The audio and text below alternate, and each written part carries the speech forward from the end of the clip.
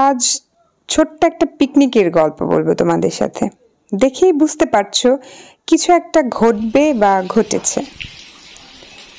সকালে বারান্দায় গিয়ে দাঁড়ানোর পর দেখলাম আমার নয়নতারা ফুল গাছের ওপর একটা ঝকঝকে সুন্দর প্রজাপতির ডানা মেলে বসে আছে। খুব একটা অবাক হইনি, কারণ আমি সবসময় আশাই করি মুক্ত ছোট্ট ছোট্ট সুন্দর পাখি প্রজাপতি সব কিছুর আনাগোনা থাকুক আমার এই ছোট্ট বাগানে। অবাধ বিচরণ যাকে বলে। শুধু এই একটা আশায় একটা পাখির ঘর বানিয়ে দিয়েছি। কোনো একদিন কোনো একজোড়া পাখি এসে সেখানে বসবাস শুরু করবে।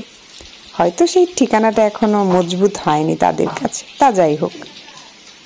প্রজাপতিটা একটু পরপর ডানা মিলছে, ডানা বন্ধ করছে, ডানা মিলছে, বন্ধ করছে। অনেকক্ষণ দাঁড়িয়ে ওর এসব কাণ্ড কারখানা দেখলাম। মালটা বাগান থেকে ঘুরে আসার পর বর বলছিল, তার নাকি রাতে জ্বর এসেছিল, মুখটা একটু তেতো হয়ে আছে। সেই জন্য ভাবলাম যে একটু আনারস ভর্তা করি। আনারস ভর্তা জ্বরের একটা অ্যান্টিবায়োটিক ওষুধের মতো কাজ করে। তো আনারস ভর্তা করার সময় চিন্তা করছিলাম যে ঝালটা যদি বেশি দেওয়া যায়, তাহলে খেতে ভালো লাগবে। গতকাল তোমাদের একটি ব্যবসার কথা বলেছি। অনেকেই আগ্রহ দেখিয়েছ। তোমরা আরও একটু চিন্তা করো, ভাবনায় থাকো। যারা যারা আগ্রহী, তারা আমাকে মনে করে লীলাবতী সংসার ফেসবুক পেজ আমার যেটা, সেখানে ছবি সহ বিস্তারিত লিখে দিও। তোমাদের সেই পোস্ট আমি আমার পেজে করে দেব। অপ্রয়োজনীয় জিনিস, কিছুটা রিসাইকেল বিনের মতো বা যেটা বানাতে পারো, নিজে বিক্রি করতে চাও, তাদের জন্য। আজ আমি ঘুরতে যাব একটি পরিচিত জায়গা। এর আগে ওই সুন্দর জায়গায় ঈদের সময় ঘুরতে গিয়েছিলাম, শহরের কাছে একটি বাগান বাড়ি। আসলে আমার এক বন্ধু যখন ক্লাস প্রথম স্কুলে প্লেতে ভর্তি হই, সেই সময়কার সময় থেকে এই গ্র্যাজুয়েশন কমপ্লিট করেছি। এখন অবধি তার সাথে এই বন্ধুত্বটা টিকে আছে। আমার প্রথম বেস্ট ফ্রেন্ড যাকে বলা যায়। স্কুল পরিবর্তন হয়েছে, কলেজ পরিবর্তন হয়েছে, যোগাযোগের গ্যাপ হয়েছে, আজও দেখা হচ্ছে দুই তিন বছর পরে। এমন না যে তার সাথে কথা হয় না বা যোগাযোগে নেই। যোগাযোগে আছি কিন্তু দেখা হয় না। সে ঢাকা বিশ্ববিদ্যালয়ে সংস্কৃততে পড়ালেখা করে। তার সাথে দেখা করতে যাব। তো আরও একবার বারান্দায় গিয়ে উকি দিয়ে দেখে আসলাম, প্রজাপতিটা ওখানেই আছে। মাধবীলতা গাছের উপর বসেছে এবার। আমরা দুজন ঠিক করেছি শাড়ি পরে যাব।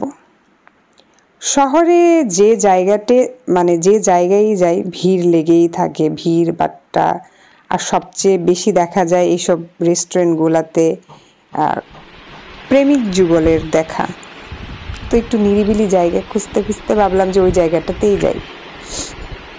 দুই বান্ধবী মিলে কিছুক্ষণ গল্প করা যাবে শান্তিতে। ছোট্টবেলায় কি করতাম আম, পেয়ারা এগুলো স্কুলে নিয়ে যেতাম ব্যাগে করে। আর কাগজে লবণ, একটু মরিচের গুঁড়া নিয়ে যেতাম। সেই ছোট্টবেলার কথা মনে পড়ে গেল। যে বাগান বাড়িতে যাব, সেখানে পানি, একটু কফি, আইসক্রিম এগুলো পাওয়া যায়। এর বাইরে আর কিছু পাওয়া যায় না। তো সেই পুরনো দিনের কথা মনে করে ভাবলাম একটু নিয়ে যাই। বসে বসে গল্প করব যতক্ষণ, কিছু একটা খেতে পারলে ভালোই লাগবে। আমি একটা গোলাপি কালার শাড়ি পরেছি। ভাবলাম যে একটু খোপার এক কোণে কয়েকটা ফুল দিই। আমার নিজের বাগান থেকে ছেঁড়া ফুল আমি খোপায় পড়ছি, এর চেয়ে সুখের আর কি হতে পারে আমার কাছে? তো এই জায়গাটা তোমাদের অনেকেরই পরিচিত, যারা নিয়মিত আমার ব্লগ দেখো, তারা এর আগে এই সুন্দর জায়গাটি দেখেছ। দুই বন্ধু মিলে সেই পুরনো দিনের গল্প অনেক দিন পরে দেখা হলো কে কার জীবনে কি করছে। নানান ধরনের গল্প করলাম, ছোট্ট একটা পিকনিকের মতো।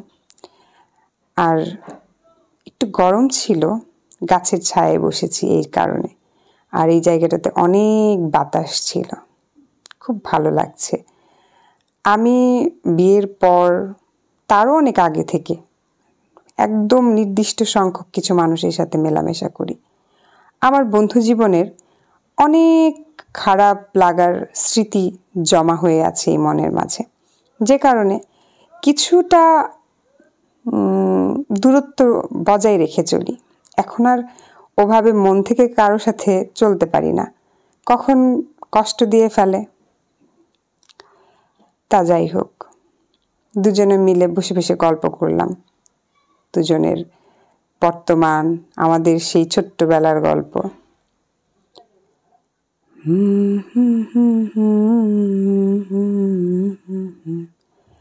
দুটি হৃদয়ের শুনিয়া গান, শুনিয়া তোদের জুড়াবে প্রাণ।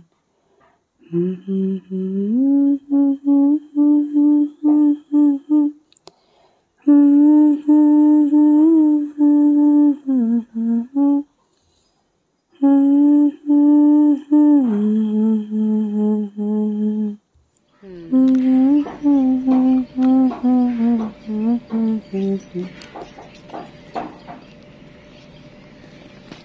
আসলে আমরা চাইলেই পারি মানুষকে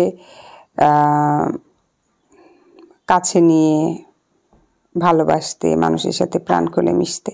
কিন্তু আমার বিপরীত পাশের মানুষটা আমাকে ঠিক কীভাবে গ্রহণ করছে, আমাকে ঠিক কীভাবে আপ্যায়ন করছে, সেটাও এখন অনেক বড় একটা বিষয়। একটা বয়সের পর সেই ছেলে মানুষই থাকুক, মনের মাঝে ভালো লাগা, মন্দ লাগা থাকুক, কিন্তু একটা বয়সের পর আসলে অনেক কিছু মেনে নিতে আর মানিয়ে নিতে একটু কষ্ট হয়, একটু বিবেচনা করতে হয়।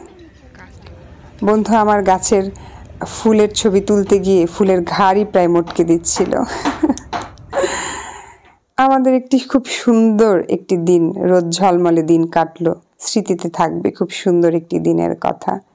স্মৃতিচারণ হবে, খুব সুন্দর সুন্দর ছবি তুলেছি। এগুলো আস্তে আস্তে আমার ফেসবুক পেজে আমি আস্তে আস্তে আপলোড দেব। এভাবেই দুজনের গল্প শেষ হলো। তারপর ওকে বাড়িতে নামিয়ে দিয়ে আমি বাড়িতে চলে এলাম। প্রথম যখন দুজন আলাদা স্কুলে গেলাম, সে আমার বাসা খুঁজে বের করে আমাকে নিয়ে যেত। ওদের বাসায় গিয়ে অনেক থেকেছি। সেই পুরনো দিন, শৈশব কত দ্রুত চলে যায়। বয়সটা অনেক সুন্দর, বেড়ে ওঠাটা সুন্দর, কিন্তু শৈশবটা আরও বেশি সুন্দর আরও বেশি